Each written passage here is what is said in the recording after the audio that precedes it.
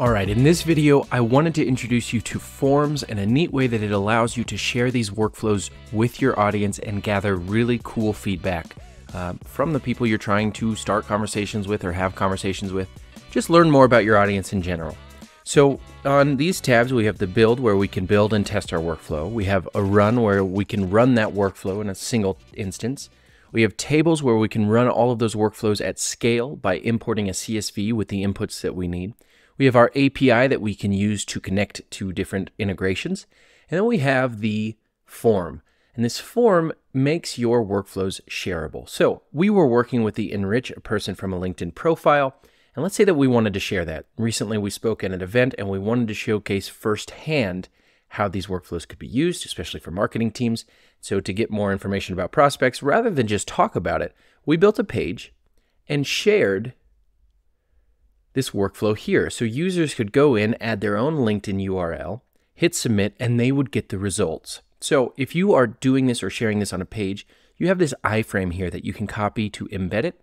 You also have a full page link. So if you wanted to go here just to a new page, you've got its standalone landing page that you can send to people that they can fill out almost like a survey or something to put in the inputs. Then when they hit submit, it will generate the workflow and you can either show them a confirmation or show the actual output and you can control which output you want people to see when they run that form.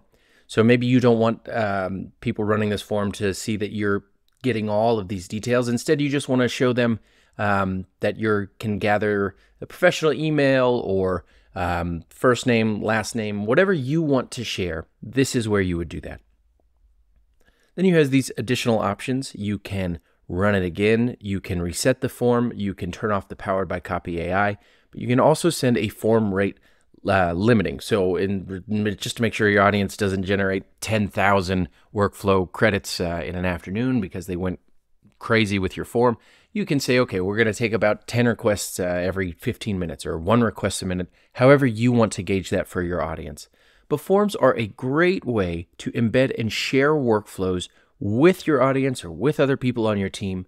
And then all of the data, if somebody comes over to here, for instance, and were to run this workflow, if it were from the form, it would show up in the table view. So you can actually gather more information about the people who are filling out these workflow forms.